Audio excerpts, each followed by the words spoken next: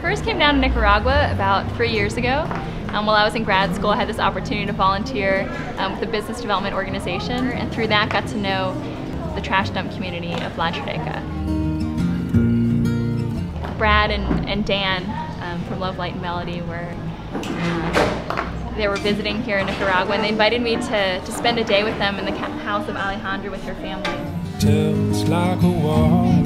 Something just hit me in La Chureca that day. I'd been there before. I'd you know I'd held the kids and I visited the projects that were going on there, and but it was that day, she was spending time with this family, with her kids, um, that, that I knew that I wanted to do something. There wasn't really anything helping kids to stop working in the trash dump. There wasn't anything to get the kids who dropped out of school, get, get them back in school. Um, so my dream was to, to build something that would actually, that would exactly help that. And that's when the idea of Nica Hope was born. Nica Hope is actually an outreach of Fabretto Children's Foundation. We're now Fabretto's outreach to La Chureca, which is great. We've been able to to pull in the resources that Fabretto has through all its partnerships with different organizations to best serve this community. We're actually so lucky to have her on staff with us at Nica Hope now, and she is so much of the spirit of the program. Um, she has been my right-hand person for so, so much of building up this project. She's been the one telling me what these kids need, what the community needs, how they need to be understood, why the kids aren't going to school, what they need to be able to go to school. Um, so much of this project has been built out of her knowledge and um, intimate relationships with the different families in the community.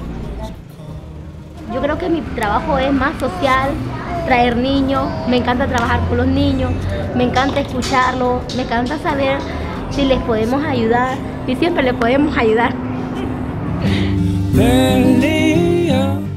Nicaragua education, enrollment, and attainment is it's unacceptable. The latest stats that I was had just been reading, 50% of the kids that are enrolled in first grade will not likely make it to, to sixth grade. Um, a lot of kids drop out of school um, by the time they get to the end of primary school. And so we're doing a lot to keep the kids in school. Todos, ¿verdad? Ya tenemos niñas de 13, 14, 15 años que nunca habían estudiado. Y ahora este año y están muy impulsivas y este año menos trabajo y más estudio. y más como, como más trabajo técnico, práctico y, y, y más visión al futuro. We're feeding lunch to over 1,200 kids a day in the two public schools, um, the Acahualinca School and the Wisconsin School, located right outside the dump. Um, we also uh, donate food to the, the School of Hope, the Esperanza School, um, uh, that's located inside the dump. Um, we work with the children from both, um, for all three of those schools to bring them here to our, our classes in computers and jewelry um, and after-school tutoring. Um, we provide many of those kids with school uniforms and school shoes so they can go to school.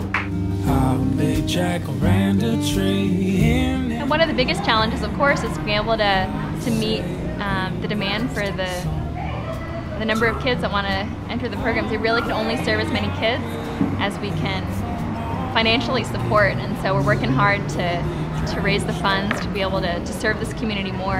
Um, there's such a great need, and you know, there's always a balance between how many kids you're going to let in the program and then the quality of services that you can offer to each student. And so we're really trying to balance that with the resources that we have. There are a variety of different ways to, to contribute to Nica Hope. One really tangible way um, is of course through the jewelry program. Every piece that we sell, a child or a mother in the program is able to earn the income from. These kids have such talent and really, the more that we can sell um, through uh, working with partner organizations like Love, Light, and Melody, um, the more that the kids can earn, the more ability they have to not have to work in the trash dump. These are uh, some of the students we have at Nica Hope. This is Jocelyn here. She works in our jewelry program. Um, she's got back in school that, uh, this year. She, uh, she used to be working in the trash dumps, not anymore. Um, Alejandra as well. Really do think everybody, however big or small, according to the resources and the capabilities and the, and the talents that they have, have something to offer. If you have any interest in, in checking out some of the items we have, um, you can learn more about it through Love, Light, and Melody.